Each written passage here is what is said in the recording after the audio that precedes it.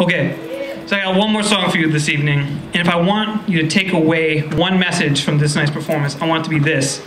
Not only can you do anything you set your mind to, you can do it in the way that you want to do it. If you know there's a clearing on the other side of the woods and you don't want to take the path, fuck the path! Take out a chainsaw, make your own goddamn path.